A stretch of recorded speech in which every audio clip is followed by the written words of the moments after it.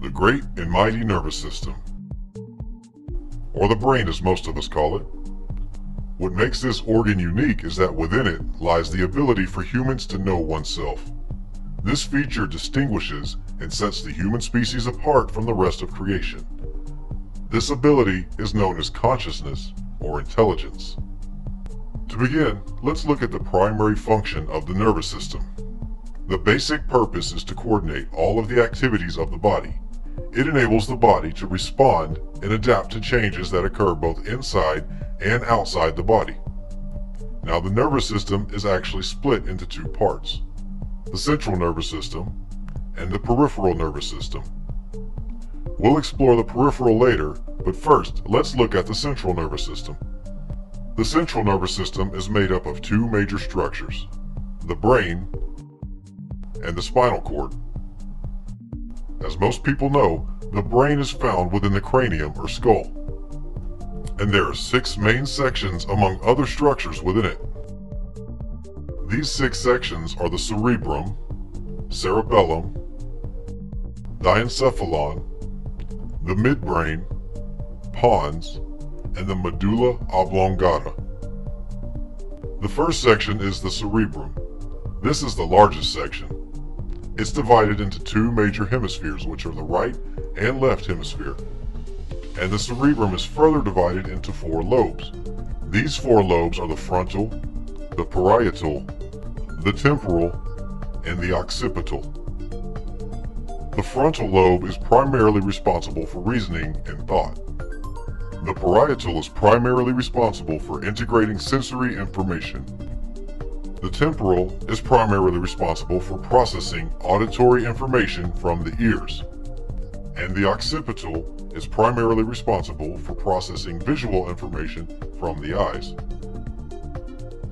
The second section of the brain is the cerebellum. This is the section located in the back of the head, below the cerebrum, and above the first cervical of the neck. It is responsible for muscle coordination, balance, posture, and muscle tone. The diencephalon section is found between the cerebrum and the midbrain. It contains two structures, the thalamus and the hypothalamus. The thalamus behaves much like a relay station and directs sensory impulses to the cerebrum. And the hypothalamus controls and regulates autonomic nervous system functions such as temperature, appetite, water balance, sleep, and blood vessel constriction and dilation. The hypothalamus also plays a role in the emotions such as anger, fear, pleasure, pain, and affection. The midbrain section is located below the cerebrum at the top of the brainstem. It is responsible for certain eye and auditory reflexes. The pons is located below the midbrain and in the brainstem. It is responsible for certain reflex actions such as chewing, tasting, and saliva production. And the last section is the medulla oblongata. It's the lowest part of the brainstem and it connects with the spinal cord and is responsible for regulating heart and blood vessel function, digestion, respiration, swallowing, coughing, sneezing, and blood pressure. It's also known as the center for respiration. Now that we've covered the brain, let's take a look at the other half of the central nervous system, the spinal cord. The spinal cord is the link between the brain and the nerves and the rest of the body. The spinal cord is divided into four different regions. The cervical, thoracic, lumbar, and the afferent and efferent spinal nerves, which merge to form the peripheral nerves. The afferent spinal nerves are responsible for carrying information from the body to the brain and the efferent spinal nerves are responsible for carrying information from the brain to the body. Now within this elaborate system of nerves, neurons, and dendrites, there is a system that regulates the functions of the central nervous system, which lie outside its major components such as the brain and the spinal cord. This system is known as the peripheral nervous system and is subdivided into two smaller systems, the somatic system and the autonomic nervous system.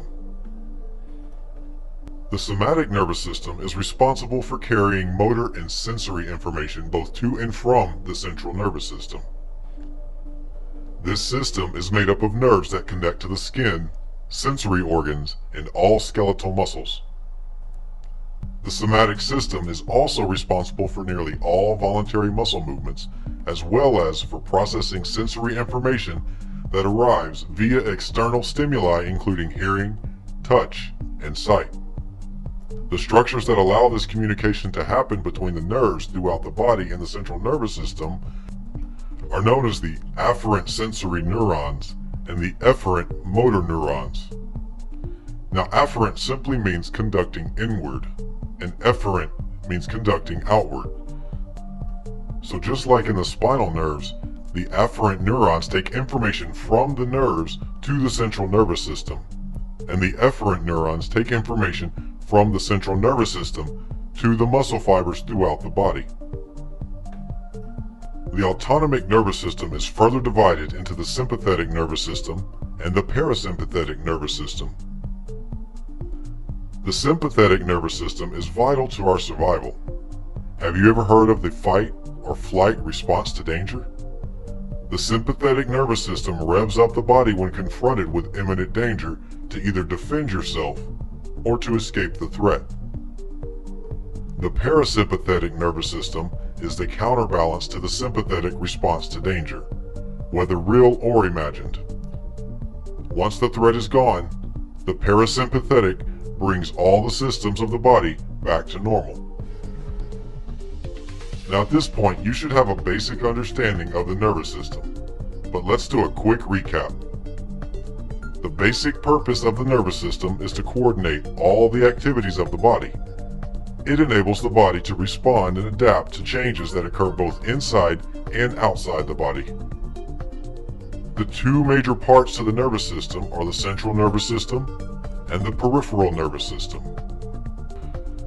The central nervous system is also divided into two major structures, the brain and the spinal cord. The brain is found within the skull or cranium, and it is made up of six main sections. These six sections are the cerebrum, cerebellum, diencephalon, the midbrain, pons, and the medulla oblongata. The other half of the central nervous system is the spinal cord. And the spinal cord is the link between the brain and the nerves and the rest of your body. The spinal cord is divided into four different regions. The cervical, thoracic, lumbar, and afferent and efferent spinal nerves, which merge to form the peripheral nerves. Now that we know the brain and spinal cord primarily make up the central nervous system, let's look at the peripheral nervous system. The peripheral nervous system is essentially the nervous system outside of the brain and spinal cord. The peripheral nervous system is then subdivided into two smaller systems called the somatic nervous system and the autonomic nervous system. So, as you can see, the nervous system is quite complex and this is just the tip of the iceberg.